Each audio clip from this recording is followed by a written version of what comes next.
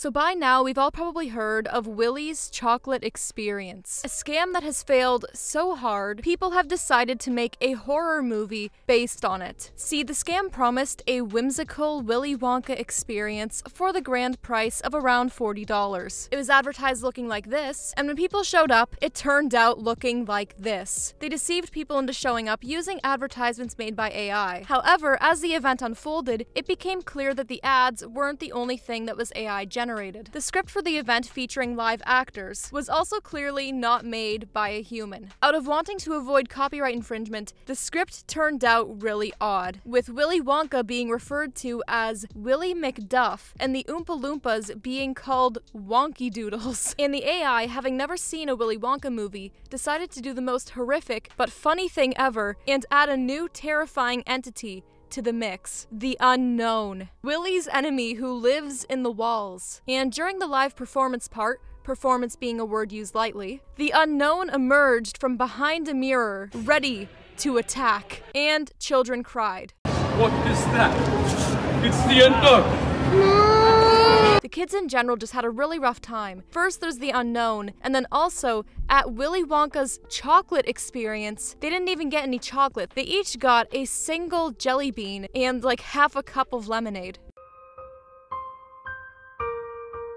Now, the event went so horribly that police got involved, and it started trending everywhere, with this photo of one of the unpaid Oompa Loompas looking very sad. The scam managed to be so bad that really, it started succeeding. It built a name for itself, a legacy. It has now amassed a fandom culture. While the children may have lived in terror of the unknown, TikTok has been making edits and cosplays. The cosplays probably involving more production cost than the event itself. Now, because the unknown has been trending so heavily, people see opportunity for profit there. So, a production company swooped in and decided to make a movie based on this character. Just yesterday, Caledonia Pictures announced that they wanted to make a horror movie set for a late 2024 release. Just so we're clear, given the fact that we are three months into the year, that does not give them many months to work with. So at this point, we can pretty much expect that the movie is probably going to be AI generated as well. The movie supposedly follows a renowned illustrator and his wife who are haunted by the tragic death of their son, Charlie. Desperate to escape their grief, the couple leave the world behind for the remote Scottish Highlands, where an unknowable evil awaits them. I mean, it's absolutely wild stuff. And apparently, there might be a chance that the person who played the unknown at the event might actually be in the movie as well. She said, As a performer, I'm obviously very excited about any proposal to take the character I've developed onto the big screen, and I look forward to hearing from the producers soon. Now, given the fact that trends come and go on the internet, it's safe to say this probably isn't making it to the big screen, as I sincerely doubt this will even be relevant in late 2024, let alone alone a month from now. Now, while the relevancy is declining,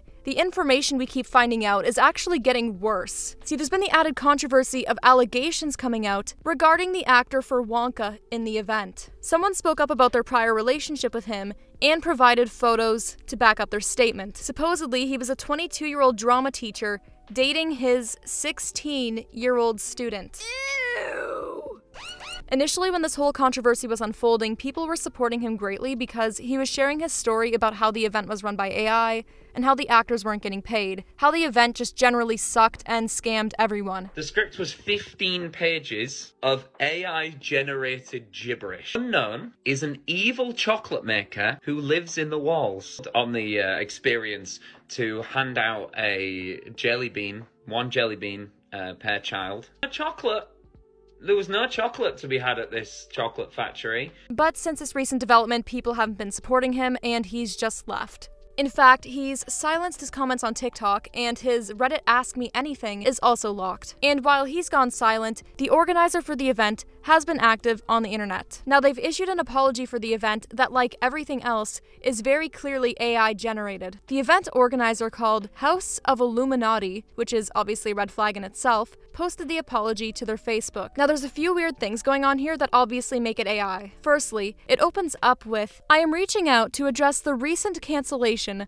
of the Willy's Chocolate Experience event. Most people wouldn't say, I am reaching out when posting something to the public for lots of people to see. I am reaching out is something you normally open with in one on one communication, like an email or something, not a social media post. Also, specifying the name of the event in quotes and following it with the word event could be written by a human, but I feel like the average person would just say the recent cancellation of Willy's chocolate experience. And randomly halfway through the apology, there's mention of a wedding which people have questioned because it makes no sense. This event has nothing to do with weddings. There was no wedding mentioned anywhere. And regarding refunds, they say something that broke my brain. All all, 850 transactions will be continued to be refunded has been posted to ensure transparency. Huh?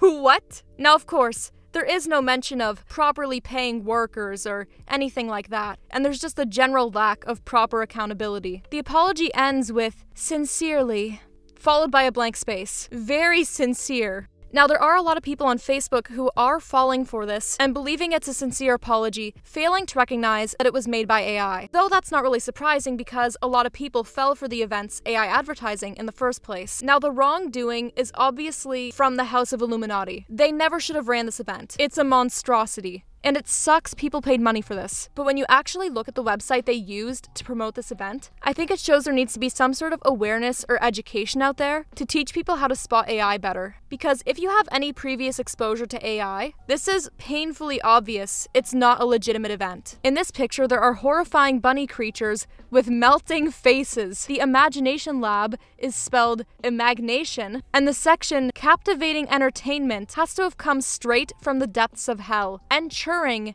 entertainment, catgagating, Karchi tons, Exarcer Dre lollipops, a pasadise of sweet teats.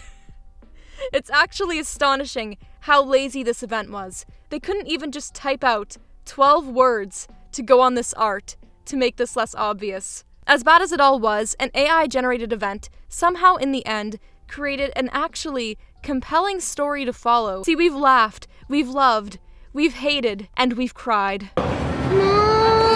However, its relevancy is definitely going to be short lived, with the movie probably coming out far too late for anyone to actually care. And the fact that this thing went viral means there will probably be other copycat events trying to achieve the same level of success. So I'm going to take this opportunity to throw a pitch.